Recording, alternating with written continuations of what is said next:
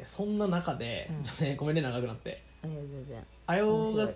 本当？うん。あやおがさこうさあのーこうしていきたい自分自身がこうしていきたいなとか、うん。こんなことやっていきたいなみたいなことって今ある子育て。子育てだ、まあ、変な質問だけど、うん。なんで？自分の子供を育ててみたい。ああそれなんかこう思うきっかけがあったの？いやあかけきっかけないないけど、うん。ない何わかんない。あこうーん。えだって女には賞味期限があるじゃん？でうち子3人欲しいから。あそうなんだ。そう。ってなるともう産まなきゃみたいな。るほどね。自分自身は何兄弟？なあ二人兄弟なんだえー、結構こうさなんか自分の人数と同じ兄兄弟の人数欲しいとか。人口いなくなるあそこへの危機感結構あってるかな。もうある。へえそうなんだ。まあそこはちょっと貢献しなければみたいな。貢献中か。うーん。なんかその前の職場はさ子供20人と暮らしてるからさ、みんうなん。結構みんなさどの家庭もなんか大人数なんだようんうんねうん、なんかそういうた見ててなんかうんうん。うんかわいそうだなみたいうんうんうんうな、ん。絶対一人一人っ子の方がなんかみんな結構なんかうんネクラっていうか幸せそうな感じがする。うんうんうんうん。あの子供一人の子供に期待がされすぎててはいはいはい。かわいそう。うんうんうんうん。え兄弟なんかなんとなくこの人柄を見てああの女兄弟いそうだなとか、うん。あこの女の子はお兄ちゃんいるなとかそういう傾向ってある？お姉ちゃん。俺？俺？妹。あどっちだと思う？まあ今の感じだと妹。バレた、そう俺ね妹二人いんだよね。あそう。女兄弟なんだよあね。男ではない完全に。うん、そうだよね。よくね姉ちゃんって言われる。うそうそうそうなんだよねちなみにやっぱ綾尾はあのえ綾尾弟いいんだよね、うん。弟いそうだもん。んそうそう。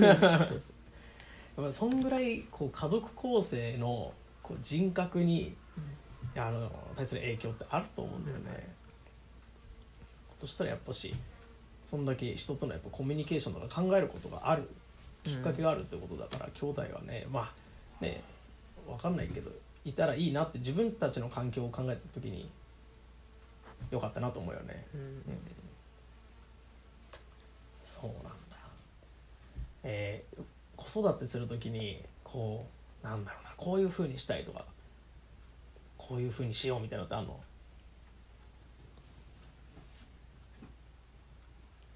へえ そういうのをうん。あまり考えないようにしたい。ああなるほど逆ねに、うん、いろいろと。期待しすぎちゃうか。うち多分世話しすぎちゃうタイプだから。あそうなんだ。世話しすぎないように、うん。期待しすぎないようにしなきゃなとは思う。へえそれは子供がプレッシャーに感じないように。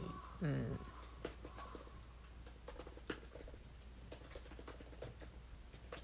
それはつまり裏を返すと子供には自由に好きなことをやらせてあげたいみたいな。そうそうそうそうそうう、ん。な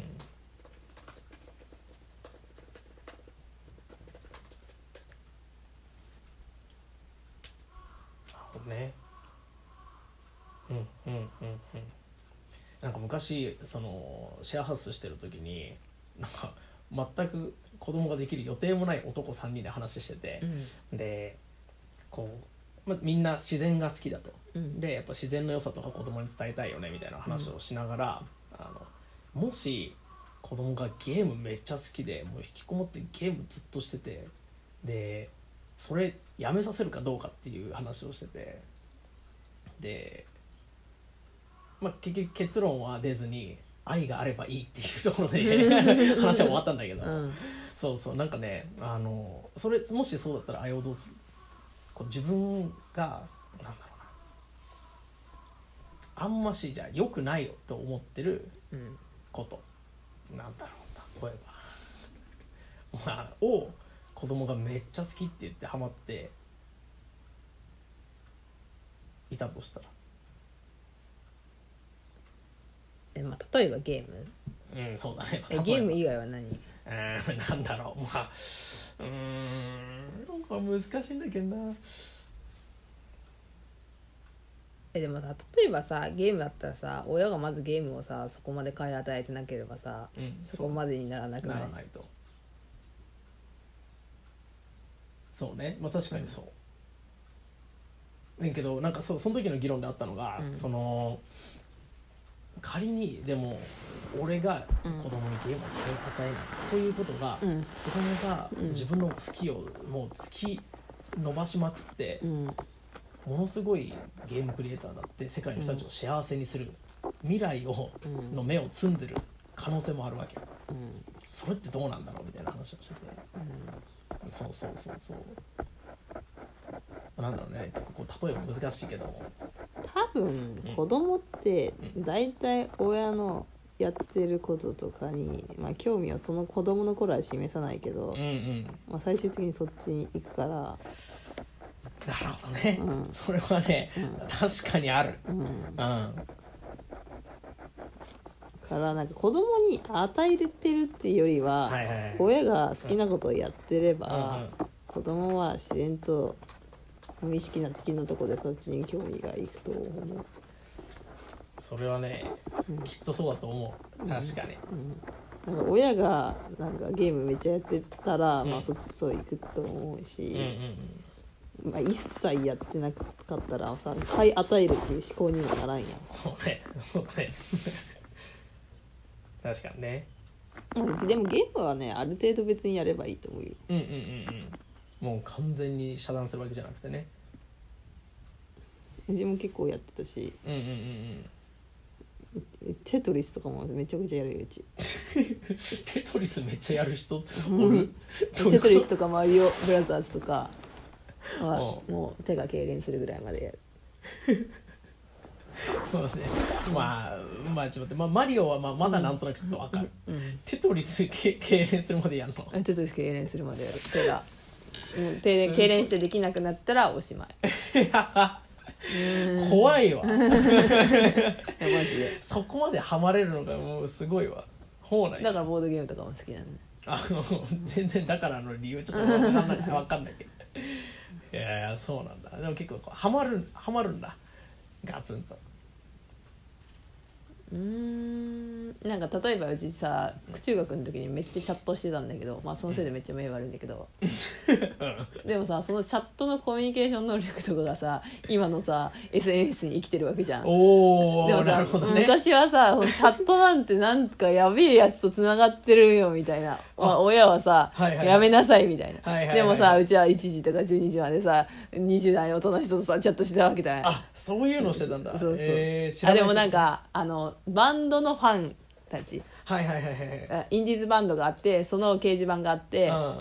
そのチャット掲示板みたいな、うん。でそこでずっと会話してたんだけど。へえでもそこでタイピングが速くなったりとか なんかネットでのコミュニケーションここまではしていいけどここまでからはしちゃダメみたいはなとかを学ぶしブログとかもやってたからうん。ブブログとかでもなんかそういう記事の文章の書き方とかもなんか学んでいくじゃん。でも別にさ大人にとって多分それってさなんかそれってどうなのみたいなはいはいはい。感じだけど、でもさ多分とそのうちらには分かるうちらっていうかない大人には分からないうん。次の時代うん。は子供は分かってるから、多分それで今はインスタとかツイッターでそこで多分中高生の時に学んだであろうことがはい。生かされてるから、その何かしら役には立つよって思ってるその視点はなかったな面白い確かにねなんかあの時にでも絶対親が「やめなさいこんなこと!」って言ってやってたら、うん今はもうそんなねインスタとかもそんなにやってなかったかもしれないし、なるほどね、でも大人には分からない次の時代が子供には見えているってその言葉すごい、ああマジ使っといて。うん、うん、もう。あ大大き大きく書いてて。うん。ドン。だからなるめっちゃねうまいあの何？インタビュー。今までで一番うまい。えー、マジなんかですげえ喋りやすい、えー、嬉しいな、うん、もう全然なんか今までの人とかなんかちょっとなんかうーんんって感じだけど。うーん。え断トツで喋りやすいよ。あ本当嬉しいなんか自分の話しないじゃん向こう。基本うんうんうんうん。あははは自分の話を踏まえてなんかなんか膨らませて話してくれる。おー。すごく喋りやすいですね。おーすげえ嬉しい、やろ才能ありますよ。うおー頑張ります。インタビューインタビューの才能があります。いやそうなんだ。そっか。嬉しいな。じゃあこれ続けていくべきだな。いいね、えーじゃあ最後に「生きるとは？